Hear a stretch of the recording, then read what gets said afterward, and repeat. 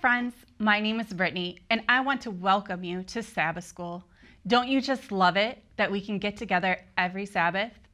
On this very special day, we get to come together and thank God for being so very good to us, and we get to spend time with Him and our loved ones. It is time for our family prayer.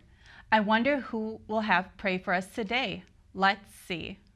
Hi, this is Rachel Huddleston and Maddie Huddleston, and we want to welcome you to Sabbath School. And to start off, we would like to have prayer. So if you'd like to bow your heads with me, um, we will begin. Dear Heavenly Father, thank you so much for your Sabbath day. Thank you for rest. Thank you for these families. Thank you for the children that want to participate in Sabbath School. I pray that each of us will get a blessing. Thank you again for your love and your mercy. In Jesus' name, amen. Bye. Thank you so much for that beautiful prayer. Boys and girls, isn't it great that we can pray to our forever friend Jesus whenever we want? I just love that we don't have to pick up the phone to make a call for Jesus. He is always available to hear our prayers. Now it's time for our opening song. Are you ready to sing? Tune your singing voices. Hello, this is the Brooks family, and we're going to be singing Good Morning, It's Sabbath.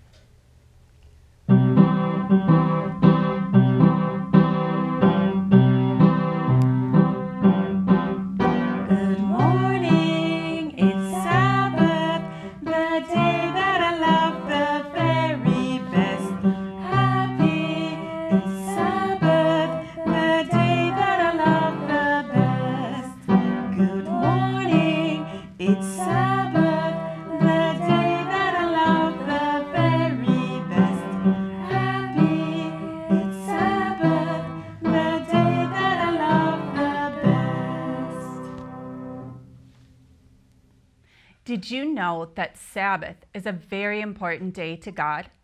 Today, the title of our mission story is The Power of One Baptism.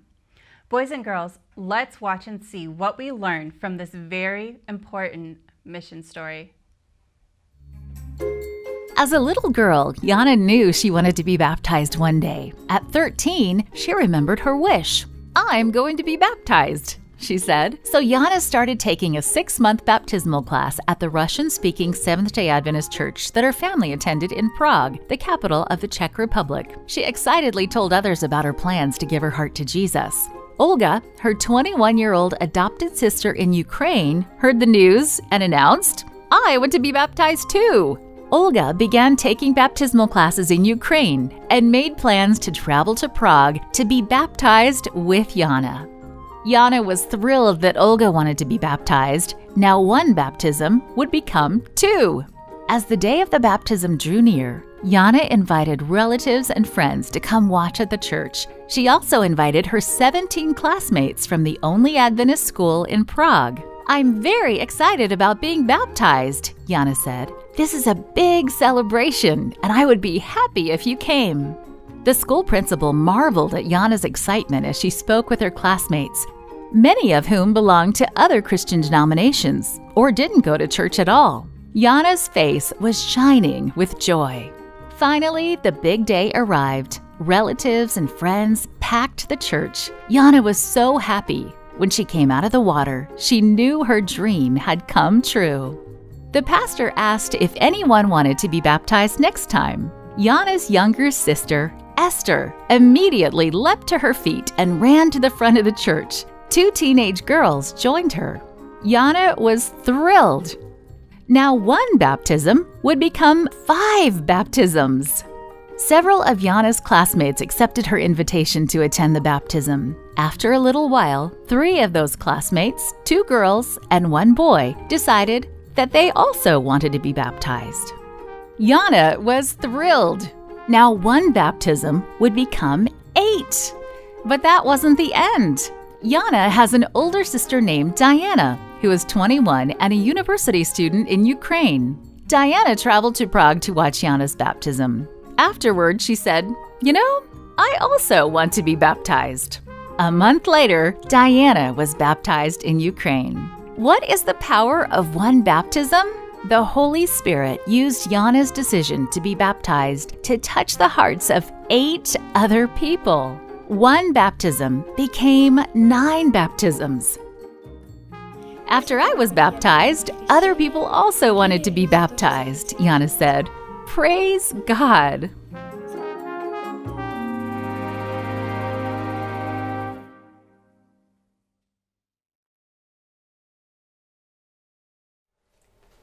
At this time, we're going to be singing number 12 Praise Him, Praise Him.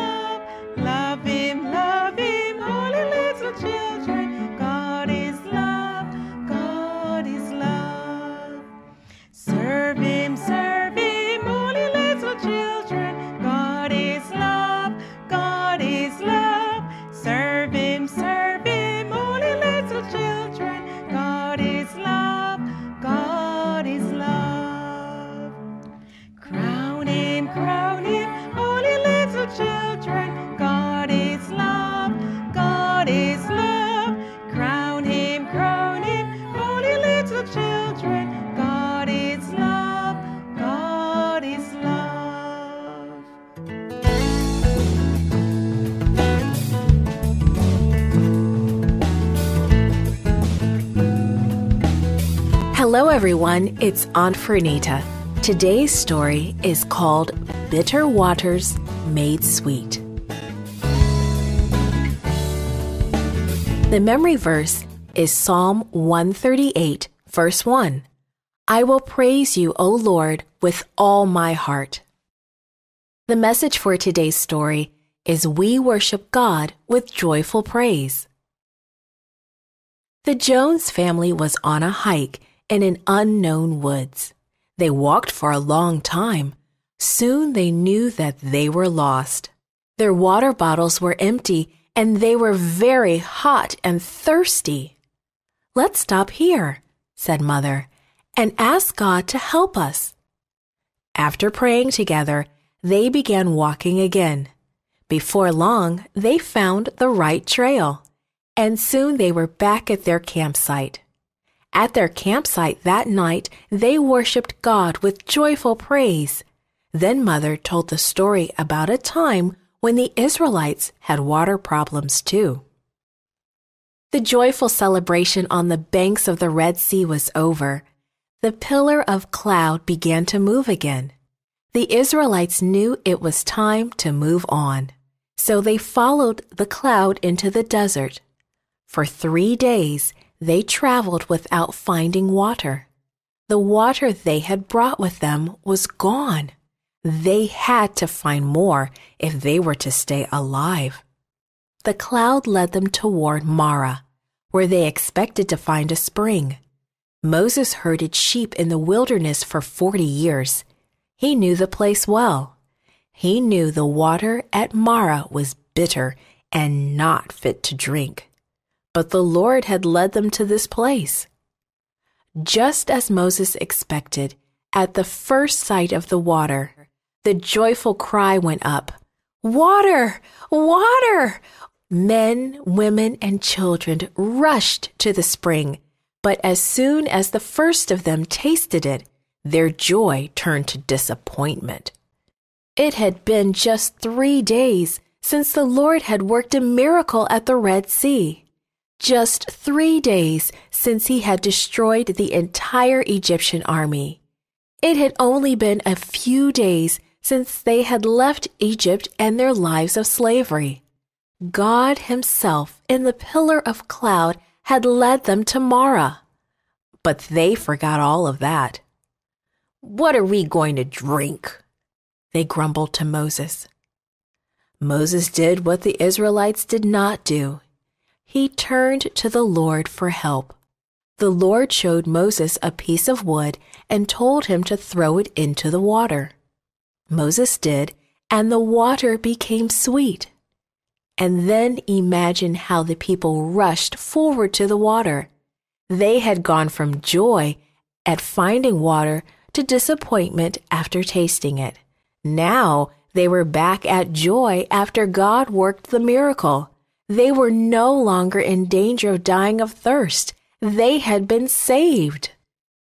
And then God gave them a promise through Moses. Listen carefully to the voice of the Lord and do what is right in his eyes. If you do what he asks you to do, he will keep you from the diseases of the Egyptians. God would keep them from much of what troubled Egypt. Would they worship God with their lives? Would they honor Him with their obedience? If they did, God would give them happy lives. God gives you the joy of salvation. Just as the Israelites were saved by the sweet water at Marah, you are saved by the grace of Jesus Christ. That is a reason for joy. With joy, you will draw water from the wells of salvation. That promise is as true for us today as it was for the Israelites. Praise God with joyful praise. This podcast is read by Franita Buddy for Gracelink.net. Created and produced by Falvo Fowler. Post produced by Faith Toh at Studio El Piso. The theme music is by Clayton Kinney. For more information, please visit gracelink.net.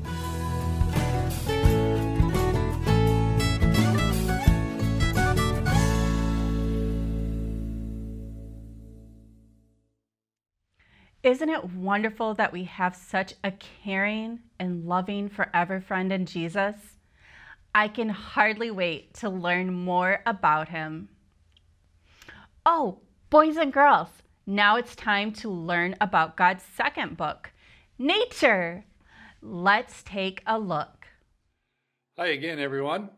I want to talk to you today about uh, birds of prey. Now, that includes quite a number of birds, but I've got a few examples here that we want to compare and contrast. Um, this is a stuffed great horned owl that we have at the Nature Center. Um, owls are unique in several ways.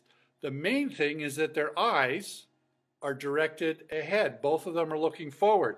Most birds have their eyes on the side of the head, looking on each side, but owls are quite different. Uh, in, diff- in, a, in addition, owls also have feathered feet and legs. Keeps them warm in the winter, I guess. Um, and their, uh, their main sense that they use for hunting at night is a sense of hearing. And their ears are not these things. This is a great horned owl. That's just decoration. It's kind of useless. Uh, but their hearing, their ears are right on the side of the head. And these facial discs that you see here act like parabolic microphones and funnel the sound right into the back of the ear so they can hear very, very well and find their food that way. Uh, now, that's different from another common bird of prey. This is a hawk. This is a Swainson's hawk. And you can see that, in fact, they've got eyes, one on each side of the head. Um, and their legs and feet do not have feathers. So, quite a difference between them, although they both are hunting for small mammals and birds.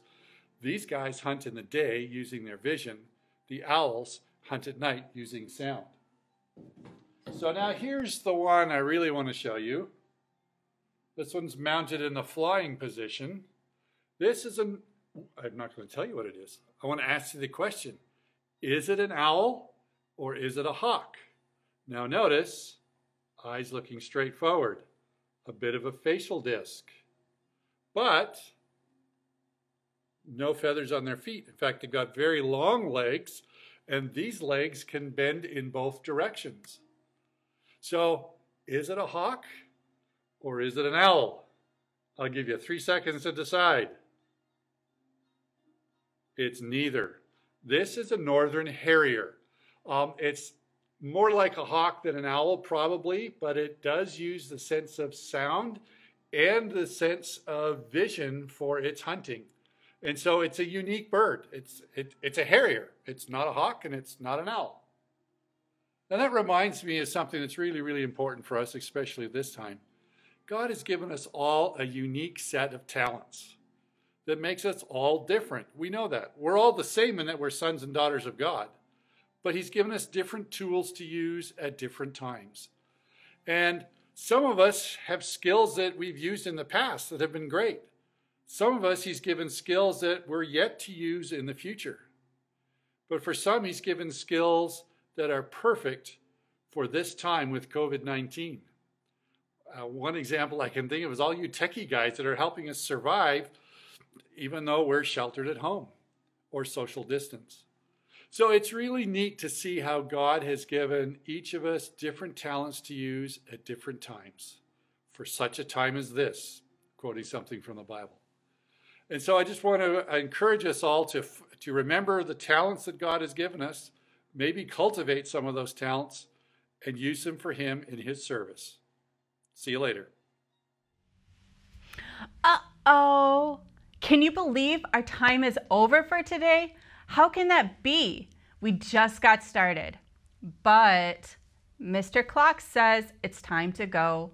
So let's have our closing prayer and our closing song, shall we? Okay, let's bow our heads, close our eyes, and tell Jesus how much we loved spending time with him this morning. Dear God, thank you so much for bringing us here. Thank you for the lesson. Thank you for the mission story. Thank you for allowing us to spend time with you. Please be with us on this Sabbath day. Help us to remember you. Help us to remember what we learned and to apply it for the rest of the week and the rest of our lives. Help us to keep your word in our heart. And we want you to know that we love you and look forward to learning more about you every day. In Jesus' name we pray. Amen. I hope that you learned more about our forever friend Jesus and Savior through this program. I sure did. Okay, here comes our goodbye song. Get your singing voices ready. I hope you can tune in next week. Happy Sabbath, boys and girls. We have now come to the end of our program and we'll sing our closing song, Our Time Together is Over.